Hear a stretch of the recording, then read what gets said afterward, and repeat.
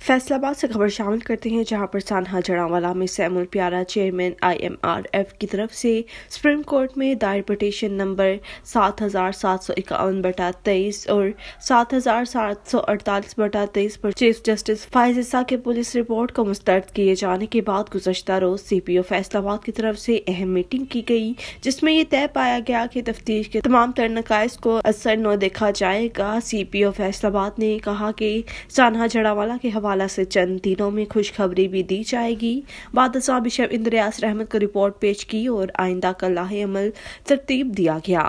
Meeting के शुरा में Samuel Pyara, father Abid Tanveer, father Khalid Mukhtar, Lala Robin, Daniel Abrar Sotra Emmanuel Parvez, adviser I M R F वकला panel I M R F Kashif नहमद, advocate legal head Adnan Shamim, advocate सदर C L A P, Niaz Amir, advocate Imran Randhawa, advocate Muzammil Hasan advocate Rebecca Niamat advocate Nadeem Aftab member IMRF ने शिरकत की। इस मौका पर local सतह पर एक कमेटी तश्कील दी गई, जिसके इंचार्ज लाला रोबिन होंगे, जबकि फैसलाबाद से फादर खालिद मुख्तार और दो लोग जड़ावाला से होंगे, जिनमें शकील भट्टी और जहेब शामिल हैं।